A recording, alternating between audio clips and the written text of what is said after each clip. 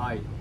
À, nhóm em là nhóm 2 à, xin trước tiên thì xin giới thiệu thành viên nhóm. À, em tên Lê Trung Hiếu. Đây, nhóm trưởng đây là Nguyễn Thanh Danh. Nguyễn Thanh Danh. Cái này Nguyễn Ly Phương. Cái này là Lê Trung.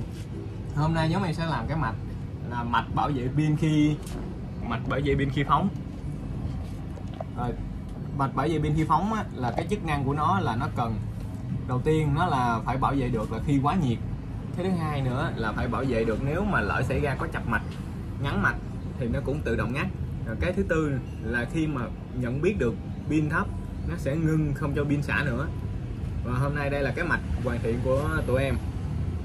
Rồi đầu tiên em sẽ thực hiện chức năng là quá nhiệt. Quá nhiệt nó sẽ ngắt. Đây là con à, à, uh, LM35 cảm biến nhiệt. Đây là con LM35 cảm biến nhiệt. Và cái bên đây là mạch dùng để nhận biết cái mạch. Ở đây là nhận biết về con uh, uh, quá quá dòng. Uh, quá um, khi mà điện điện thấp thì nó sẽ ngừng lại còn đây là nó sẽ nhận biết về quá dòng.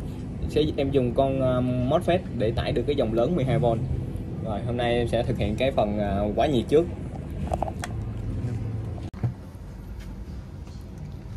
Rồi đây là thực hiện về ờ, quá nhiệt khi mà nhiệt độ ở đây em cài đặt cái mức là à, trên 90 độ nó sẽ ngừng.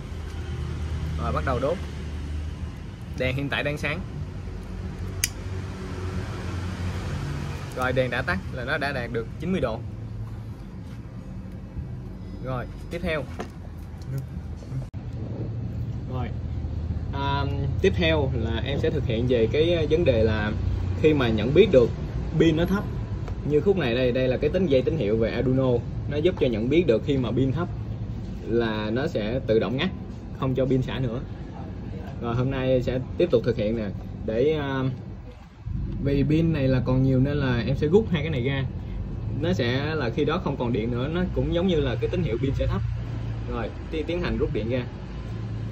Rồi như thầy đã thấy ở đây là điện đã tắt. Rồi nếu mà bây giờ em rút lại em cắm vô lại thì pin nó sẽ thì đèn nó sẽ sáng lại. Rồi như thầy đã thấy em ghim vô thì nó bắt đầu nó sáng lại.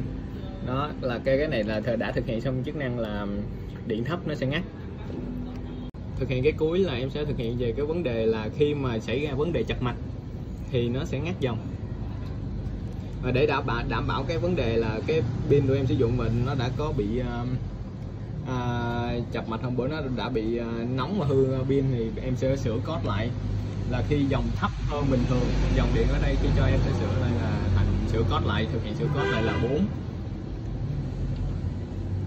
ở đây khi mà nhận biết được tín hiệu là dòng điện ở đây nó chỉ cần lớn hơn 4A là nó tự động ngắt.